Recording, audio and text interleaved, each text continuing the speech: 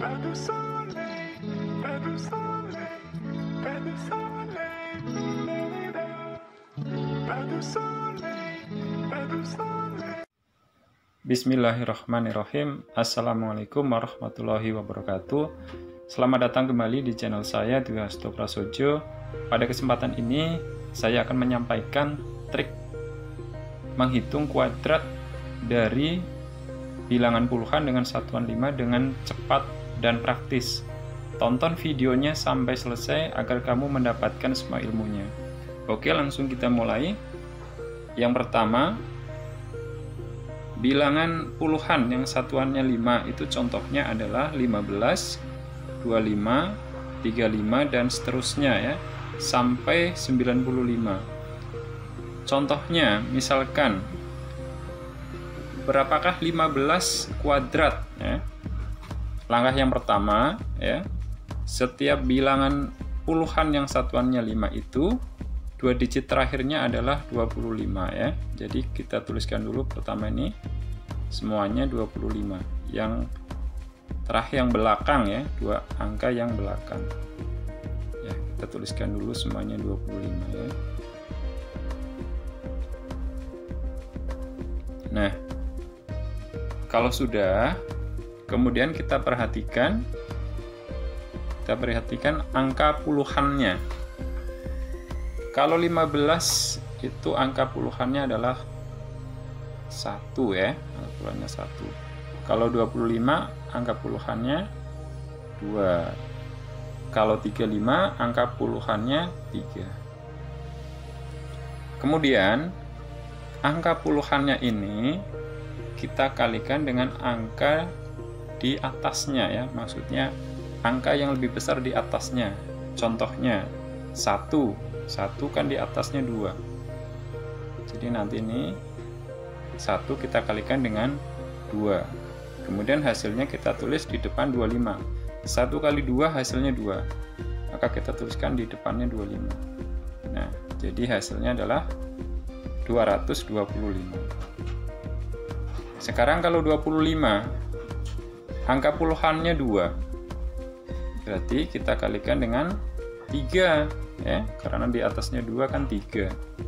Dua kali tiga berapa? 6 kita tuliskan di depan 25 jadi ini 6 ya. 625 atau 625 kemudian 35 kuadrat. Angka satuannya 3 berarti tiganya ya kita kalikan dengan 4 ya.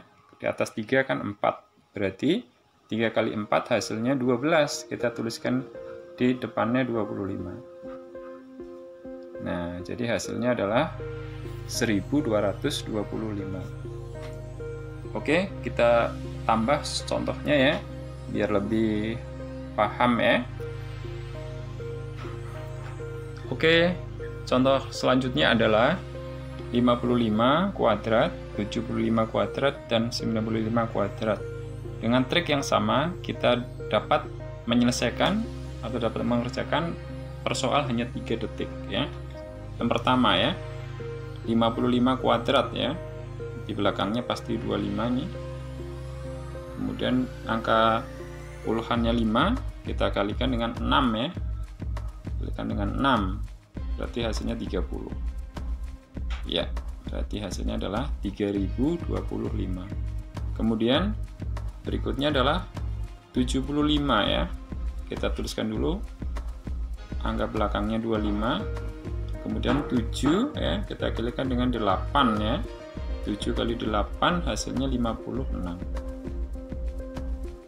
ya jadi hasilnya 5625 terus terakhir 95 kita tuliskan dulu. 25 di belakang.